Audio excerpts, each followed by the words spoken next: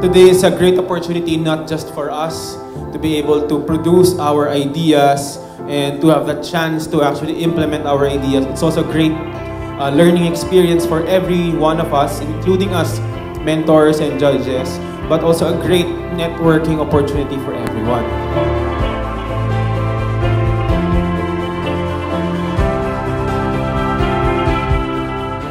The HackaTren 2018 is a an awesome partnership between two very innovative companies and institutions.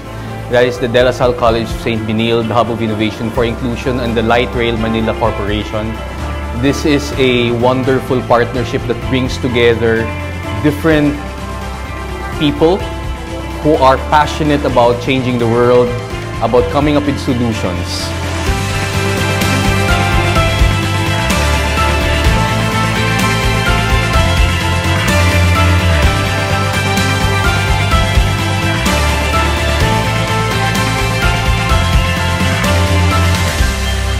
Paalala po sa mga minamahal naming uh, pasahero, may pitong ipinagbabawal na pagbaba at po sa mga rilis.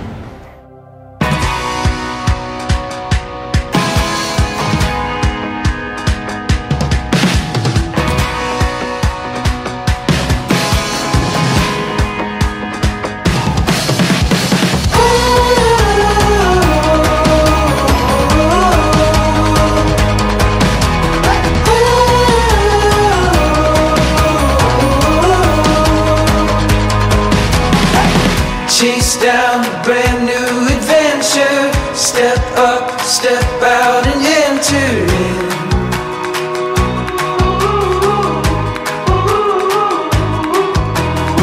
There's no time, no time for stalling. The wild, wild is calling.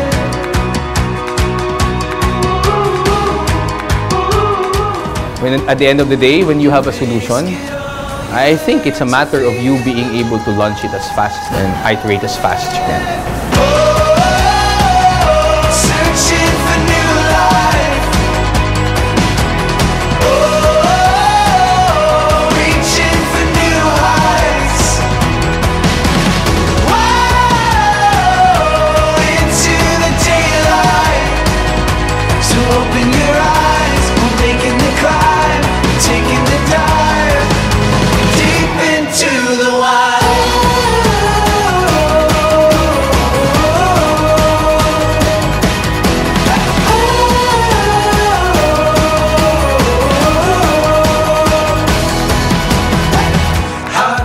Mabuhay! We're the Hakuna Matata! So social impact is our target and sharing our talents.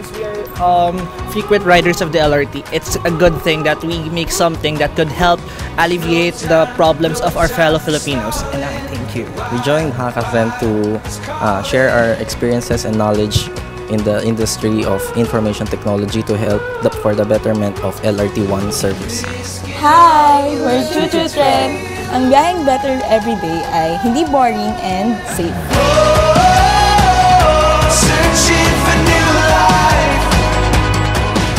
Each team here was tasked with the challenge na to how to further improve customer experience so that our riders can biyaheng better every day. So that we as LRT stakeholders can be proud naman of our um, the experience that we are giving our riders. Where we acknowledge that riding experience is not just on um, what goes on inside the train or not even what goes on inside the station, but begins when the customer decides that, oh, I have to be somewhere, and ends with when the customer actually reaches their destination.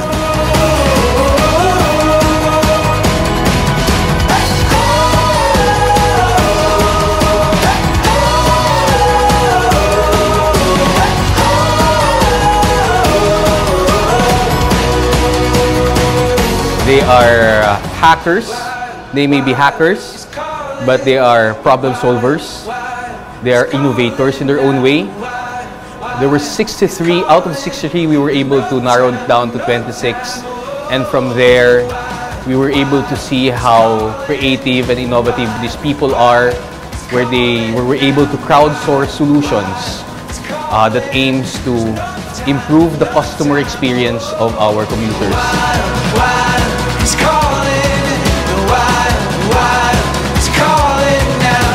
Solutions that we came up today with are, uh, I think we were very happy, very unique, and definitely will help us in terms of delivering better transport.